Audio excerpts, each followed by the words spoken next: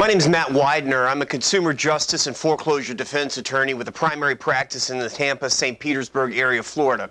I want to talk to all of you this morning about what might be the best way to resolve a foreclosure case or the best way to unload yourself from a mortgage that's uh, underwater, a home that uh, is worth less than the total outstanding balance of the mortgages, and that is through a short sale. Now, this video is focused specifically at consumers, but there's also a real attention here that should be paid by realtors and other professionals who are working with consumers to try and resolve the foreclosure case or to help consumers through the difficult process of unloading themselves from assets and real estate that are uh, undervalued compared to the value of the mortgage. Now, I counsel all of my clients when they come into my office to meet with a local realtor who knows the market well. Again, I counsel everyone to do that. Even those families and those clients that say to me, look, I'm not interested in selling my home in foreclosure. I want to keep my home.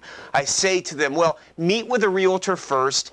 Your intentions may change at some point in time. If nothing else, meet with a realtor and understand what your options are. Occasionally, and maybe sometimes frequently, that client will come back to me months down the road and say, you know, when we first met with you, we had no intentions at all selling, but things changed. I got a job out of state, or we got other opportunities elsewhere, and uh, we decided to sell. Because we met with a realtor early on, we knew what our options were. We weren't uh, behind the gun waiting for something to happen. We were able to take advantage of those other opportunities that presented themselves. Now, here's the deal.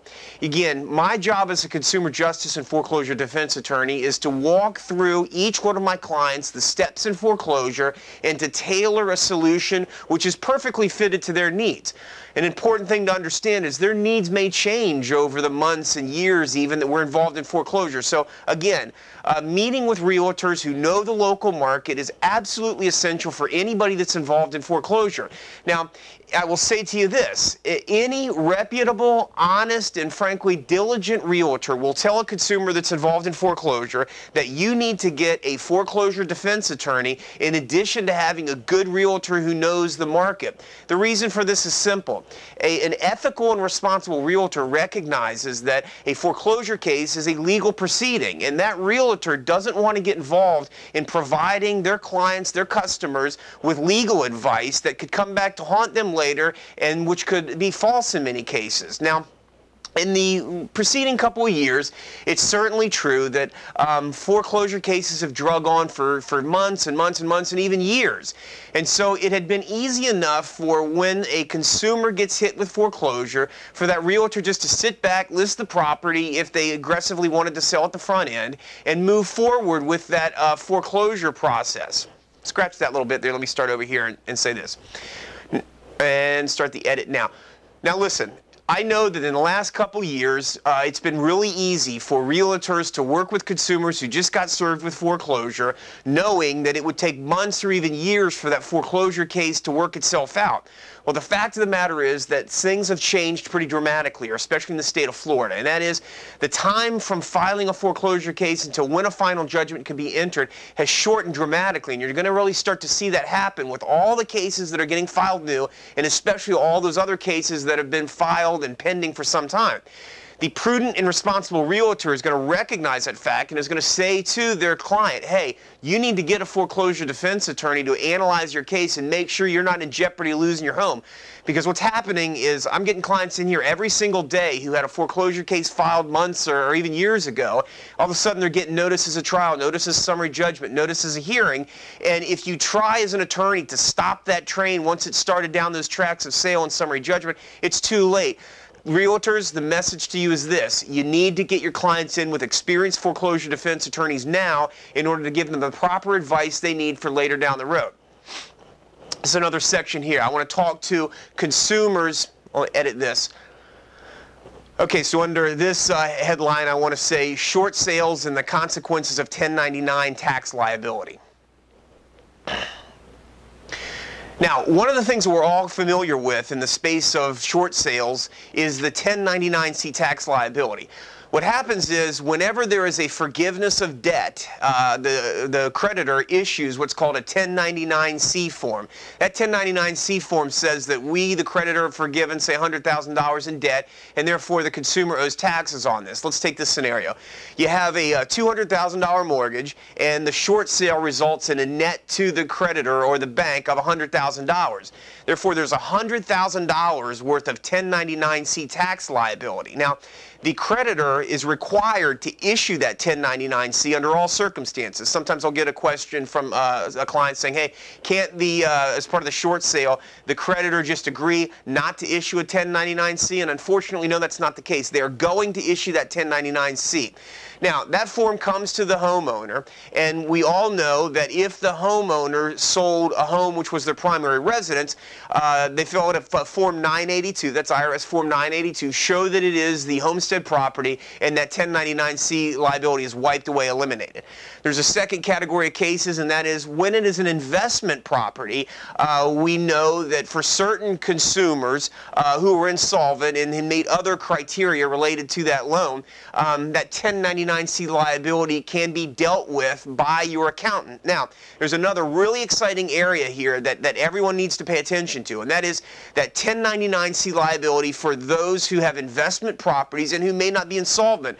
We're talking to folks that actually have assets and are concerned about doing short sales because they believe that no matter what, I'm going to get hit with that $10,000 or that, that, that tax liability. Again, in the scenario we're using, we got a $200,000 mortgage. The property sells for $100,000, and so there's a $100,000 tax liability, which is reported to the IRS and then is charged as income to the homeowner, uh, even when this is an investment property, or especially when this is an investment property. Here's what's exciting, and here's the brand new uh, strategy here if the consumer has taken the proper steps to contest that liability, the entire uh, liability that's related to that foreclosure case or related to that short sale, um, there is an argument, a pretty good argument, that in context of an adversarial or a com complex tax uh, contest strategy, you can defeat that entire tax liability. Now, for realtors, especially those realtors that are dealing with high value, high net worth clients that are looking for a way to liquidate or get rid of these properties. This is a crucial point, something very important to understand. It is no longer the case that that 1099-C tax liability is an absolute certainty. Let me be very clear about what happens here. Uh, early in the process, and this is long before you do the short sale, long before you enter into contracts, and certainly long before that client or customer gets their uh, the tax forms or they're filing their tax forms that client, that customer needs to be meeting with an experienced foreclosure defense attorney so that what I can do is set up the proper contest and set up this proper dispute at the front end so that when that 1099-C tax liability form is issued to the consumer down the road, many months or even years after the short sale, um, we set up the proper evidentiary and factual basis that can be used to challenge the IRS when they try to tag that consumer, that high-value consumer, consumer with that tax liability. Now, Again, this is something that can't be done at the time the short sale contract is entered. It can't be done certainly at the time that the 1099-C liability is issued. That's got to happen way, way, way in advance, preferably before the consumer even served with foreclosure and absolutely in the context of foreclosure proceedings. The foreclosure defense attorney and the experienced uh, short sale realtor that's working with consumers have a very important role to fill. We have complementary roles working together where the realtor does their job to sell the property, bring offers, and negotiate the short sale with the bank and with the purchaser, while myself, the foreclosure defense attorney, has a critical job to do as well, and that is to try and help move the consumer along through the process and oftentimes interface directly with the attorney that's working for the bank in this process. Now, oftentimes what happens is we can short circuit that entire frustrating short sale process where, you know, a consumer presents a contract, the banks negotiate back and forth on this, and we can't get a solid answer. So what my job as the foreclosure defense attorney to do is to get in the middle of that process with the bank's attorney, help them to understand that the short sale offer the realtor has on the table is the quickest route for the bank and for the consumer to get on with their lives. And again, when we work together and can address this 1099-C tax liability, it's a phenomenal exceptional uh, partnership that provides exceptional benefits to the consumer. I'm Matt Weidner, Consumer Justice and Foreclosure Defense Attorney in Tampa. I look forward to hearing more from you. Click onto my website here or give me a call. There's a chat function as well. I look forward to working with you. Thank you.